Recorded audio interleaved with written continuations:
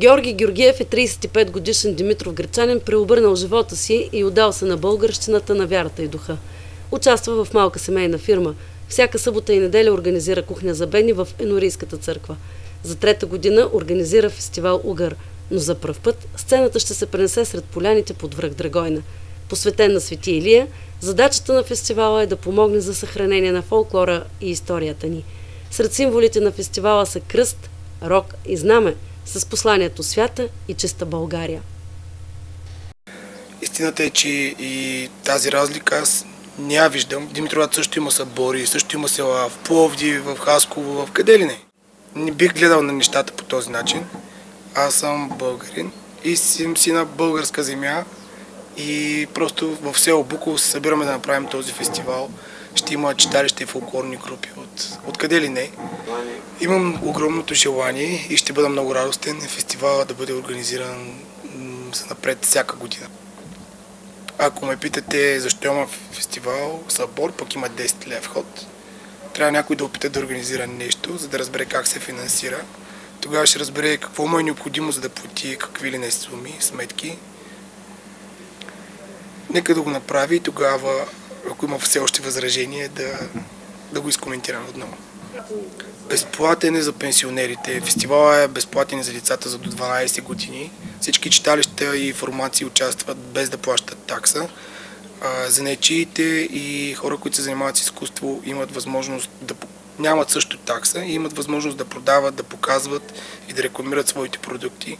Хората, с каквито и дрехи да дойдат, ще бъдат посрещат просто всичко това е за тях. Но ако Отвътре усетите, че е добра идея да бъдете облечени с народната носия. Най-малкото с бялата риза или с бели дрехи ще бъде прекрасно. Затова, ако имате носия и тя е стояла някъде, слагайте и добре дошли.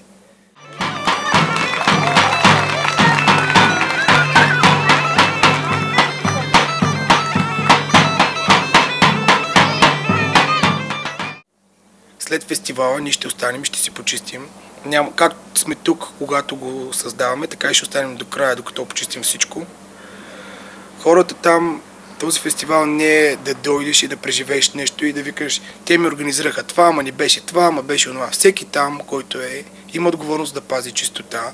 Нямаме единствения огън, който ще бъде запален, е този, на който ще играем всички хоро там огньови няма да бъдат палени. Трябва да бъде чисто. Ако някой вижда салфетка, трябва да я пребере.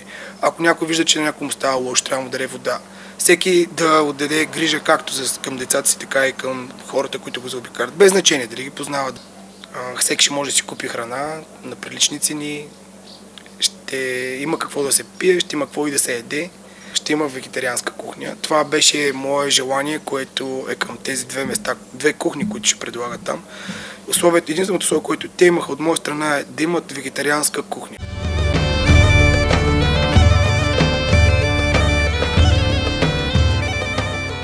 При няколко години, когато моята трансформация почна да се случва, имаше една група, която се казва Исихия. Това ми е любимата група.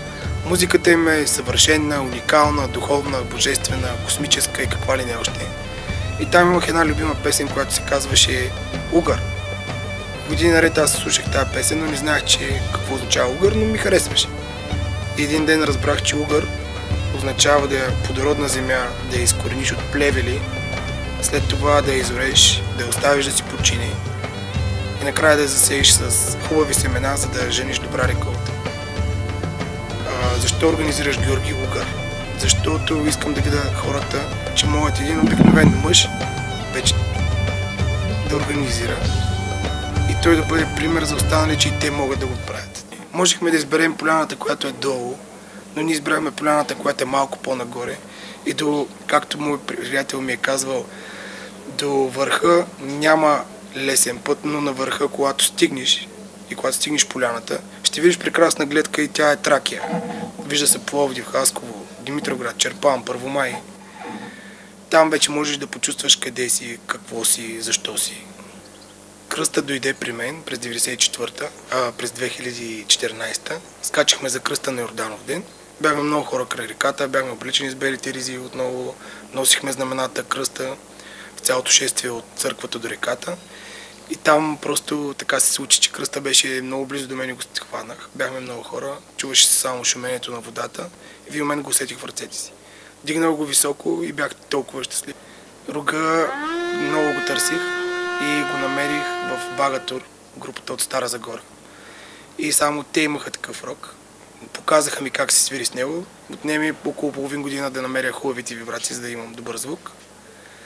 И го търсейки го, той в един момент стана ясно, че те ми го изпратиха точно на рождения ден, което за мен беше голяма радост, голямо щастие, защото беше приключение, докато стигна до подходящия рок. Бях си направил свобода или смърт, но усетих, че това знаме е имало волята, символа и това, което е носило през тези времена. И усетих, че в днешно време ние, ние сме свободни, но нивата на свобода те първа ги изчистваме и достигаме. Знамето е чиста и свята България и, и е винаги с мен. И идеята е просто имаме нужда от почистване, святост, любов и всички напред заедно.